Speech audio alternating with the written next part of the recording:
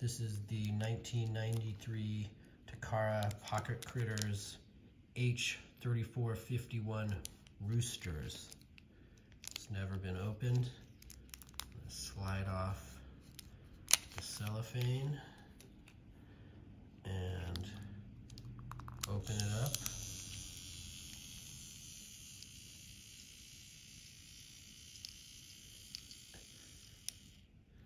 There it is. Oh, line's nice and tight.